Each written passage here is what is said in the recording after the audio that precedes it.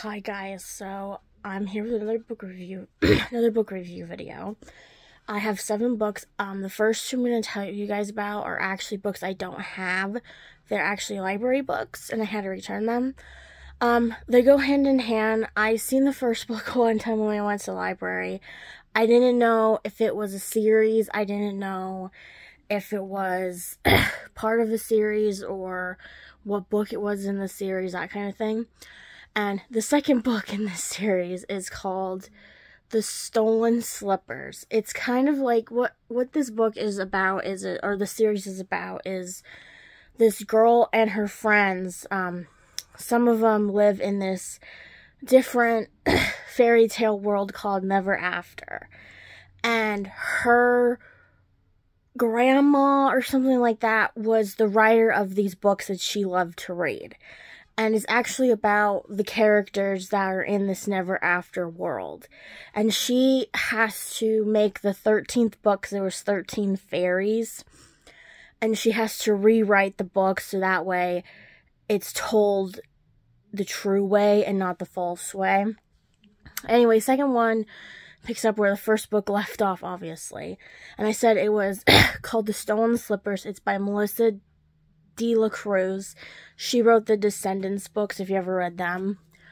Um, and basically, the whole premise is to get this, um, glass slippers back from Cinderella because in this world, Cinderella is actually evil and her stepsisters are actually the nice, um, the nice, um, the nice women in this book and they have to return them to one of the group's cousins um because she's really one um her name's gretel from hansel and gretel and she has to return them to her cousins.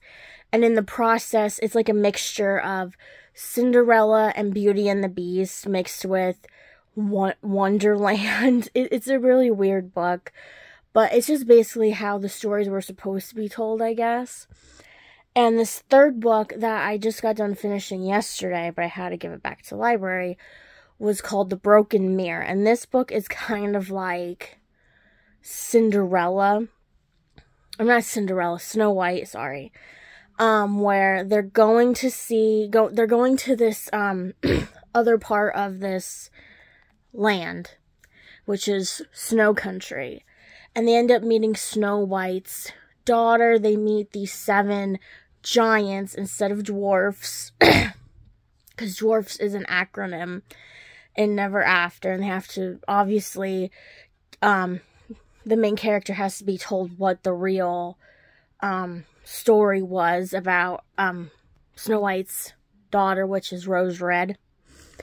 And they have to make a mirror because all these magic mirrors are taken over by the evil pro, um, antagonist character, which is Queen Olga and her ogres.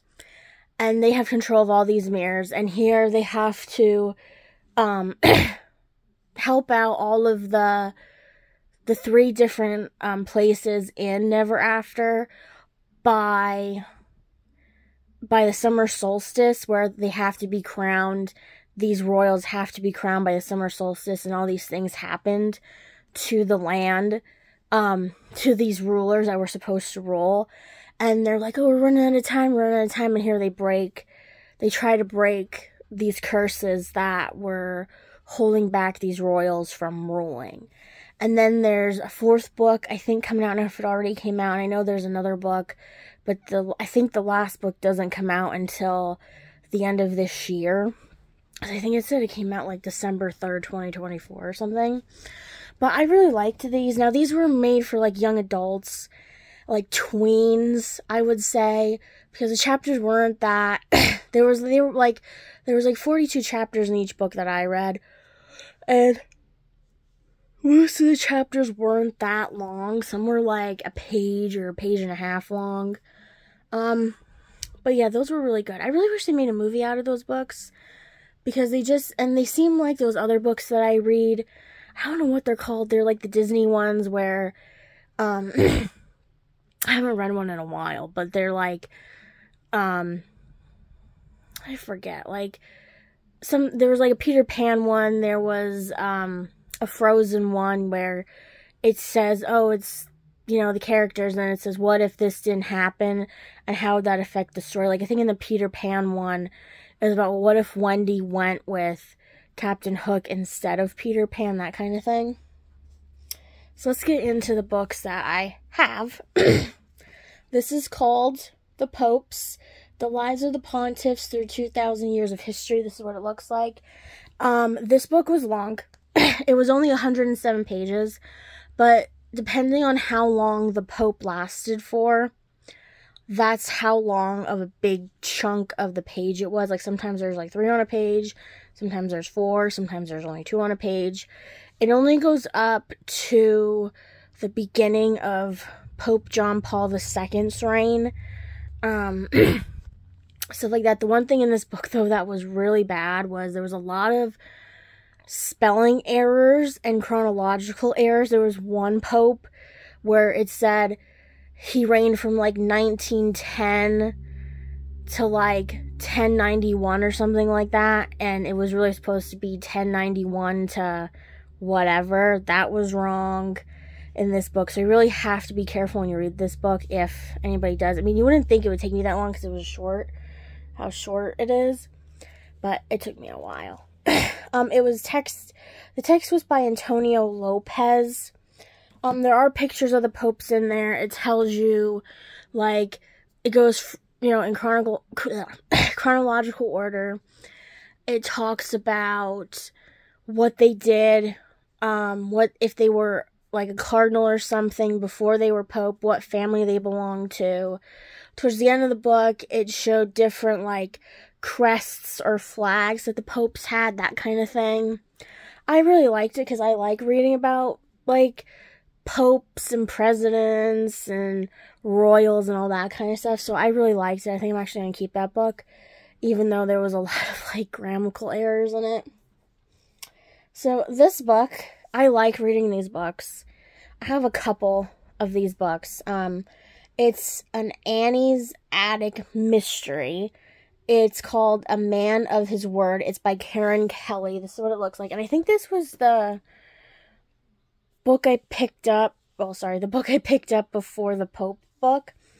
And it's basically this woman who lives in this small town and she inherited i don't know if it was her grandmother's house or great aunt's house and basically every time in the in each of these books they go up to the attic and they find like a mystery and this mystery was she found a bible and it belonged to um i forget what his name was judge something i forget how he was related to annie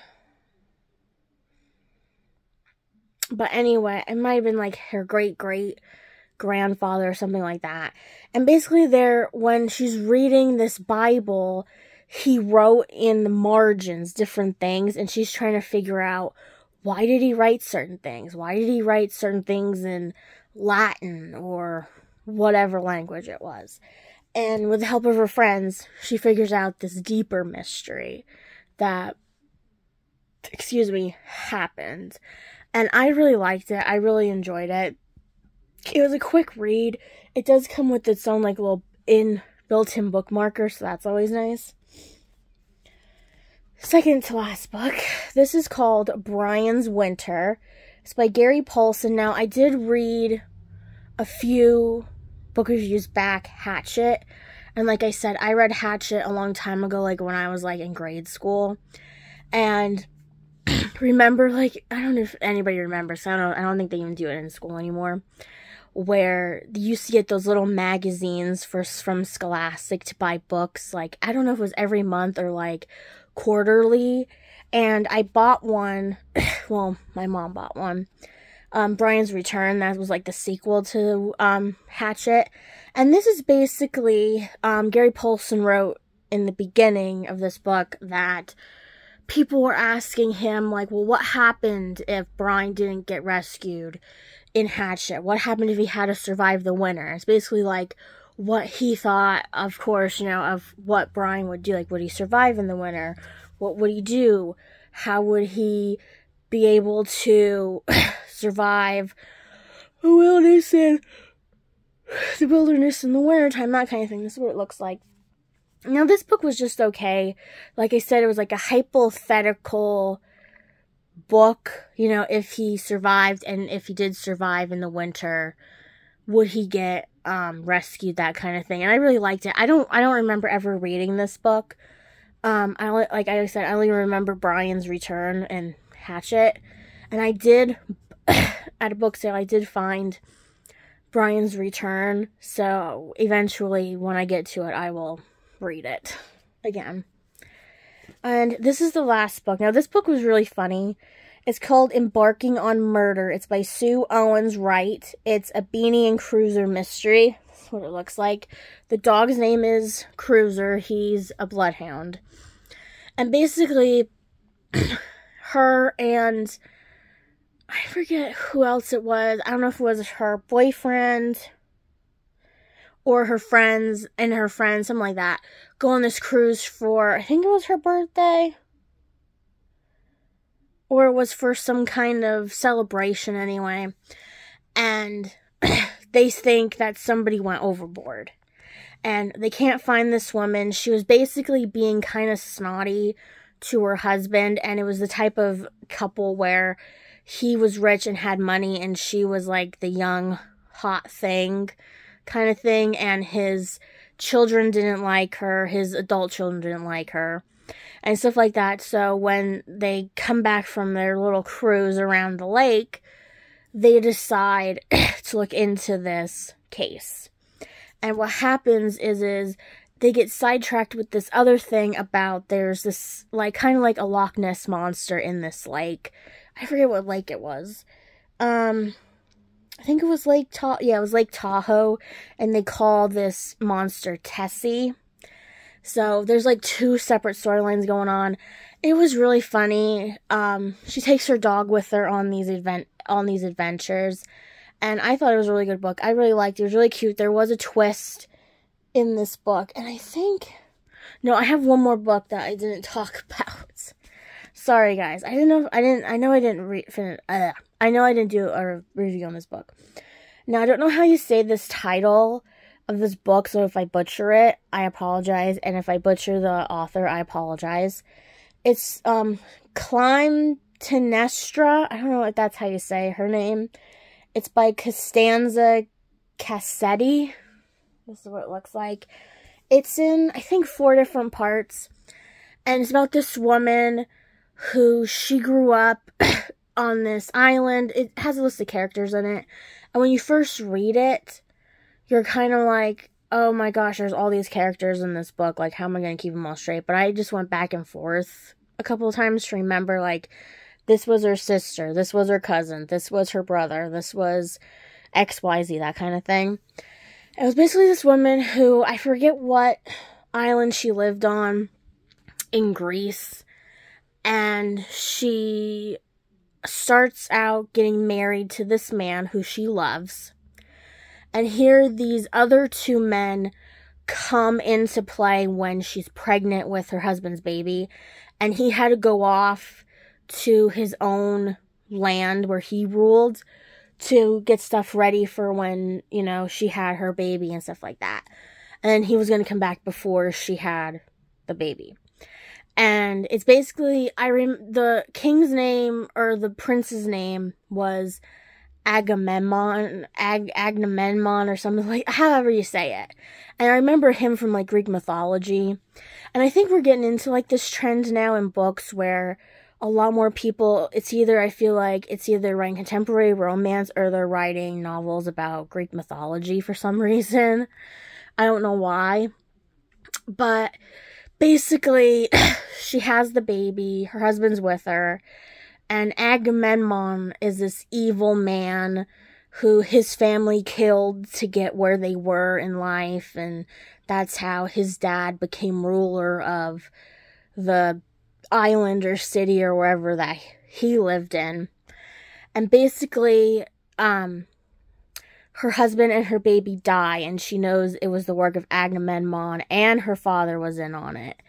And then she marries Agamemnon. They go off um, back to his land or city or wherever.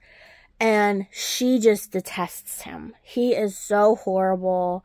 Um, there is, it, it does like time skip, so it goes like a couple years into the future, that kind of thing. Um, but not too far into the future where you don't know what's going on.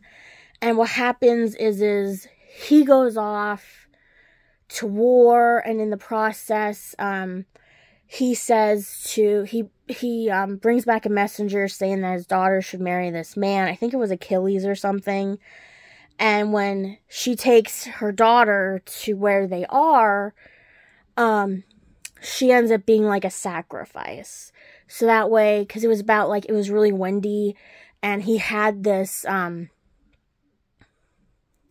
seer guy who said, I guess if we sacrifice like a virgin, then the winds will die down and then they can sail and win in this war.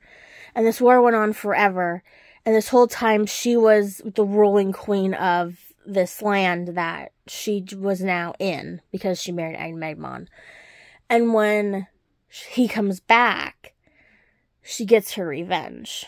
And it's kind of like I don't know, like I like I said, I don't know that much about Agamemnon. I know he was a king, but I don't know that much about him.